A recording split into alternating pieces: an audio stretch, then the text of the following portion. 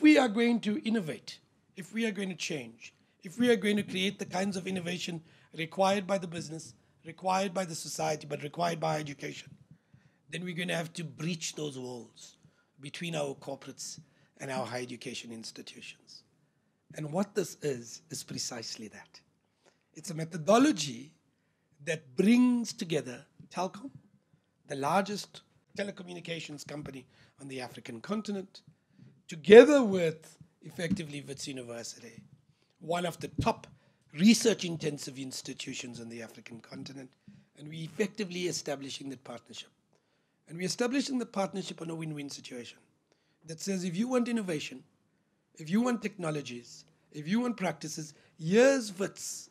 working with you to generate that.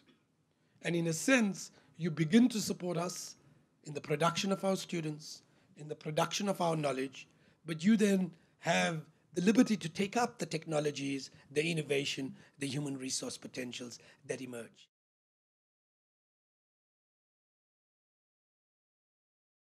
there's quite a number of things that we need to deal with. I mean, there's obviously inequalities of access, and that is why some of the innovation hubs, you'd have one here, but we're looking to see how we can be in townships to really begin to, to democratize not just broadband and connectivity, uh, but also access to creativity and enable people to create solutions uh, that will be good for the sort of challenges that, that we are confronted with.